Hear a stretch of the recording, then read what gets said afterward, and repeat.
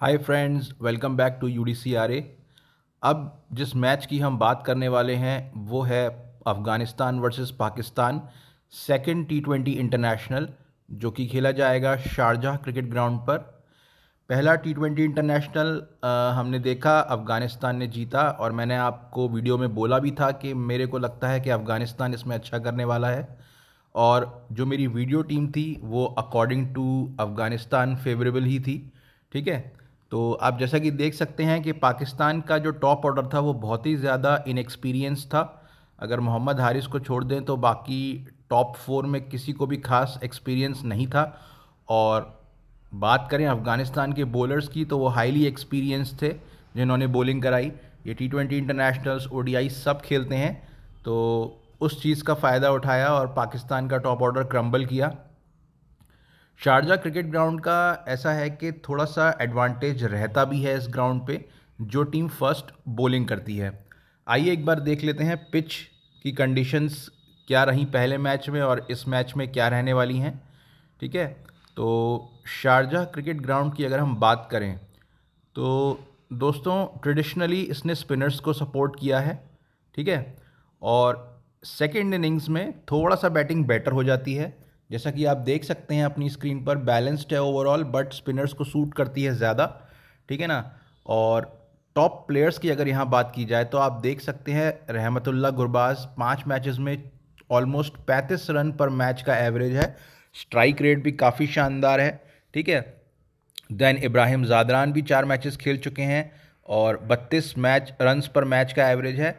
अच्छा दूसरी चीज़ ये है दोस्तों, क्योंकि अफ़गानिस्तान अपने कंट्री में मैचेस नहीं खेल रहा है तो शारजा ही उनका होम ग्राउंड हो गया है, ठीक है? तो अगर किसी भी कंट्री का टूर ऑफ़ अफ़गानिस्तान होता है तो वो शारजा में ही खेला जाता है। इसलिए यहाँ यहाँ का जो कह सकते हैं कंडीशंस हैं, उससे काफ़ी फेवरेबल हो चुके हैं अफ़गानिस्तानी प्लेयर्स और ज़्यादा अच्छे से कंडीशंस का यूज़ कर पाते हैं, ठीक है ना? तो इस चीज़ का भी ध्यान रखिएगा। आप देख सकते हैं इब्राहिम ज़ादरान, नबीजुल्ला ज़ादरान रहमतुल्ला गुरबाज तीनों ने अच्छा किया है यहाँ पर। देन बात करें बॉलर्स की तो मुजीब का आप देख सकते हैं, ढाई विकेट्स पर मैच का एवरेज है। ठीक है, राशिद खान का भी ऑलमोस्ट ढाई है। नवाज़ ने अच्छा किया है पाकिस्तान की तरफ़ से, पर उन्हें स्टार्ट नहीं मिला। इस मैच में मे बी स्टार्ट मिल सकता है। फ़ारूकी ने भी अच्छा किया है। ठीक है एवरेज फ़र्स्ट इनिंग स्कोर आप देख सकते हैं, डेढ़ सौ का है। तो कोई बहुत हाई तो नहीं है। ठीक है ना? और जनरली जो भी टॉस जीतता है, वो बॉल फ़र्स्ट करना ही पसंद करता है। टारगेट को चेस करना थोड़ा इजी रहता है। और आप देख सकते हैं team bowling first wins 80 percent matches तो सारे स्टैट्स यही बता रहे हैं कि सेकेंड इनिंग्स में बैटिंग थोड़ा सा बेटर हो जाती है और फ़र्स्ट इनिंग्स में स्पिनर्स को काफ़ी हेल्प मिलती है। ठीक है? तो इस नज़रिए से टॉस काफ़ी इंपॉर्टेंट हो जाता है इस मैच का। ठीक है? तो आइए, सीधे चलते हैं टीम बनाने। एक बार लाइनअप्स देख लेते हैं क्या क्या लाइनअप्स रहेंगी आज के मैच में दोनों टीम्स की। आई डोंट थिंक अफ़गानिस्तान की लाइनअप में कोई चेंज होने वाला है बट मे बी पाकिस्तान कुछ चेंजेस करे after such a horrific performance in the first T twenty international Azam Khan भी नहीं चल पाए, शफीक भी ज़ीरो पे आउट हुए, ठीक है? तो जैसा कि आप देख सकते हैं, अब चेंजेस क्या हो सकते हैं पाकिस्तान में? देखिए, शफीक की जगह शान मसूद आ सकते हैं ठीक है? या फिर तैयब ताहिर की जगह शान मसूद आ सकते हैं। ये चेंज हो सकता है। बॉलिंग में I don't think as such कोई चेंज करने की ज़रूरत है बिकॉज़ मोस्टली इनका बैटिंग फेलियर था पहले टी ट्वेंटी इंटरनेशनल में। तो बॉलिंग आई डोंट थिंक कुछ खास चेंजेस होने वाले हैं। बैटिंग में ही चेंजेस हो सकते हैं, अगर होंगे तो। ठीक है? तो अगर लाइनअप यही रहता है तो कौन से प्लेयर इंपॉर्टेंट रहेंगे पाकिस्तान की टीम में? ठीक है? तो जो प्लेयर्स इंपॉर्टेंट रहने वाले हैं पाकिस्तान की टीम में, वो कौन से होंगे? तो पहले डिसाइड कर लेते हैं कि टॉस कौन जीतेगा, ठीक है? तो एक टीम हम बनाएँगे जिसमें पाकिस्तान टॉस जीत के पहले फील्डिंग करेगा और दूसरी टीम हम बनाएँगे जिसमें अफ़गानिस्तान टॉस जीत के पहले बॉलिंग करेगा, ठीक है? तो सपोज़ पाकिस्तान टॉस जीतता है और बॉलिंग करता है देन क्या टीम रहेगी हमारी? आइए एक बार देख लेते हैं। तो क्रिएट टीम में जाते हैं। एक बार फ़िल्टर लगा लेते हैं पाकिस्तान का, ठीक है? तो अगर पाकिस्तान पहले बॉलिंग कर रही है देन मोहम्मद हारिस को फेवरेबल कंडीशंस मिलने वाली हैं बैटिंग के लिए, ठीक है? क्योंकि ये ओपन करेंगे विद सैम आयूब ठीक है?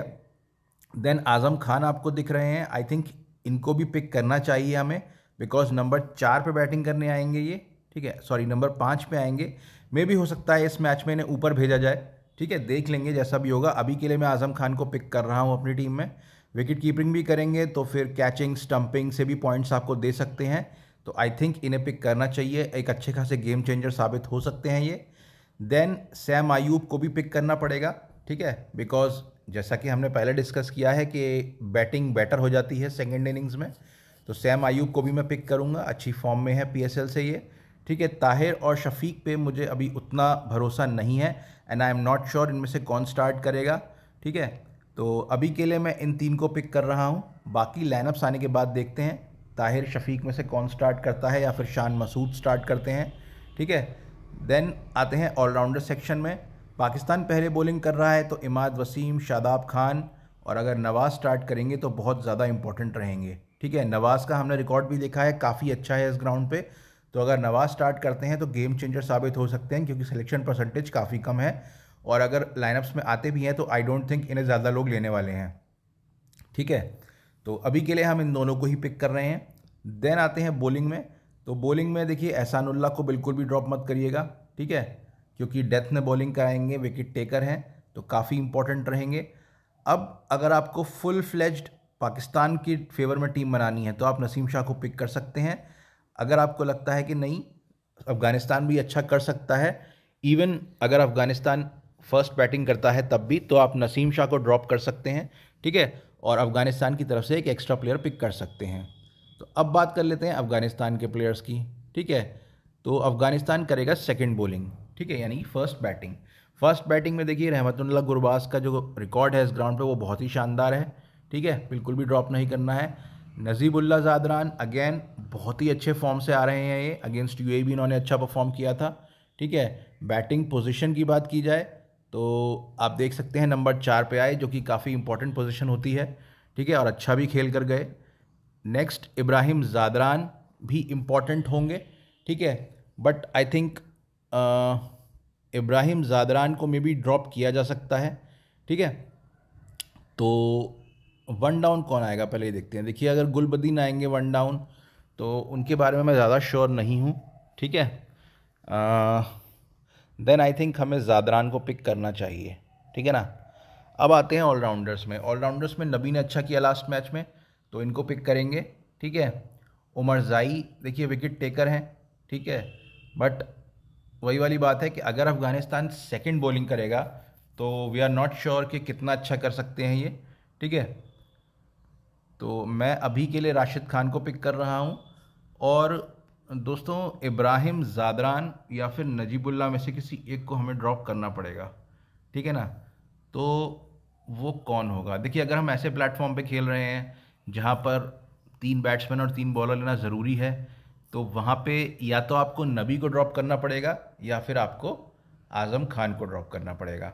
ठीक है? मैं अभी के लिए नबी को ड्रॉप करूँगा बिकॉज़ अगर सेकेंड इनिंग में बॉलिंग आती है तो आई डोंट थिंक नबी उतना बेटर कर पाएँगे। ठीक है? और मैं पिक कर लूँगा फारूकी या नवीनुल हक में से किसी एक को। अभी के लिए मैं फारूकी को पिक कर रहा हूँ, ठीक है? तो मेरी टीम कुछ इस तरीके से है, अगर पाकिस्तान पहले बॉलिंग करता है तो ठीक है ना? अब आती है कैप्टन वाइस कैप्टनसी की बात। तो कैप्टनसी अगर है पाकिस्तान की फ़र्स्ट बॉलिंग तो कैप्टन में बनाऊँगा इमाद वसीम को, ठीक है? और वाइस कैप्टन में बनाऊँगा मोहम्मद हारिस को, ठीक है ना? तो कुछ इस तरीके से रहेगी मेरी टीम। इसको सेव कर लेते हैं। ठीक है? अब एक टीम बना लेते हैं जिसमें अफ़गानिस्तान पहले बॉलिंग करेगा। तो अगर अफ़गानिस्तान पहले बॉलिंग करता है तो ओपनिंग कौन करेगा? मोहम्मद हारिस एंड सैम आयूब। ठीक है? दोनों ही अच्छे फॉर्म में हैं। मैं दोनों को पिक करके चलूँगा। ठीक है? देन मिडिल ऑर्डर के बारे में जब मैं ज़्यादा श्योर नहीं हूँ, इसलिए मैं आज़म खान को पिक करूँगा। ठीक है? उसके बाद इमाद वसीम शादाब खान को आप ड्रॉप नहीं कर सकते हैं। हंड्रेड परसेंट पिक होने चाहिए आपकी टीम में। ठीक है, अब बात करेंगे हम अफ़गानिस्तान की। अफ़गानिस्तान के कौन से कौन से बॉलर ज़रूरी हैं? देखिए, मुजीब ज़रूरी है, राशिद ज़रूरी है एंड नबी ज़रूरी है। स्पिनर्स तो बहुत ज़रूरी हैं, अगर अफ़गानिस्तान पहले बॉलिंग करता है तो। डेथ में कौन बॉलिंग कराएगा? फारूकी। ठीक है तो फारूकी भी इंपॉर्टेंट है। देन बैट्समैन की बात की जाए तो अफ़गानिस्तान के ओपनर कौन है? रहमतुल्ला गुरबाज, ये टीम में रहेंगे। एंड देन नजीबुल्ला ज़ादरान या फिर इब्राहिम ज़ादरान में से किसी एक को आपको पिक करना है। मैं नजीबुल्ला ज़ादरान को पिक कर रहा हूँ। अगर आप ऐसे प्लेटफॉर्म पे खेल रहे हैं जहाँ पे आपको तीन बैट्समैन लेना ज़रूरी है देन आप क्या कर सकते हैं? उस केस में आपको एक रिस्क लेना पड़ेगा, ठीक है? आपको हारिस को ड्रॉप करना पड़ेगा, ठीक है? और पिक करना पड़ेगा एक बैट्समैन वो बैट्समैन कौन होगा? वो होगा इब्राहिम ज़ादरान। ठीक है? तो कुछ इस तरीके की टीम बनेगी अगर अफ़गानिस्तान फ़र्स्ट बॉलिंग करता है तो। ठीक है ना? अब कैप्टन वाइस कैप्टनसी की बात की जाए तो कैप्टन होंगे मेरे राशिद खान। ठीक है? और वाइस कैप्टन बनाऊँगा मैं रहमतुल्ला गुरबास को। ठीक है? थोड़ा सा रिस्क है इन्हें बनाने में। आपको अगर रिस्क लग रहा है तो आप वाइस कैप्टन इमाद वसीम या शादाब खान को भी बना सकते हैं, या फिर इनफैक्ट आप नबी को भी बना सकते हैं, ठीक है ना? बट मैं अभी के लिए रहमतुल्ला गुरबास को बना रहा हूँ, ठीक है? तो ये हमारी दोनों टीम तैयार हो गई। अब अगर लाइनअप्स में चेंजेस होते हैं, जैसा कि मैंने कहा कि पाकिस्तान चेंजेस कर सकता है तो उसके बारे में आपको अपडेट कहाँ मिलेगी? आपको अपडेट मिलेगी हमारे टेलीग्राम चैनल पे। अब टेलीग्राम चैनल से आप कैसे जुड़ेंगे? आपको किसी भी वीडियो के डिस्क्रिप्शन में जाना है। बेल आइकन के जस्ट ऊपर आपको मोड दिखाई देगा, उसे प्रेस करना है। देन नीचे आपको दिखाई देगा join our official Telegram channel वहाँ पे मोर को प्रेस करें, आपको लिंक दिख जाएगा। उस लिंक के थ्रू आप हमारे टेलीग्राम चैनल से डायरेक्टली जुड़ जाएँगे। सारी फाइनल अपडेट्स प्राइम टीम जो कि हम फ्री ऑफ़ कॉस्ट देते हैं, आपको वहीं पर मिलेगी। ठीक है? तो टेलीग्राम से जुड़ना बहुत बहुत ज़्यादा ज़रूरी है, स्पेशली क्योंकि अब आईपीएल भी आने वाला है, ठीक है? और दूसरी चीज़ दोस्तों, सबसे इंपॉर्टेंट कि अगर आपने हमारा अभी तक चैनल सब्सक्राइब नहीं किया है तो सबसे पहले वो करें। उसे करने के लिए आपको क्या करना है? बेल आइकन के जस्ट बराबर में एग्जैक्टली exactly यहाँ पर आपको सब्सक्राइब लिखा हुआ दिखाई देगा। उसे प्रेस करें एंड देन बेल आइकन में जाके नोटिफिकेशंस को ऑल कर दें। इससे होगा ये कि सारे वीडियोस की नोटिफिकेशंस आपको फ़ौर मिल जाएगी जैसे ही हमारा वीडियो अपलोड होता है, ठीक है? और उस वीडियो को आप पूरा देख सकते हैं, समझ सकते हैं, सारी इन्फॉर्मेशन आपको दी जाएगी और आप एक अच्छी और बैलेंस टीम तैयार कर सकते हैं। तो मिलते हैं दोस्तों अगले वीडियो में। जय हिंद।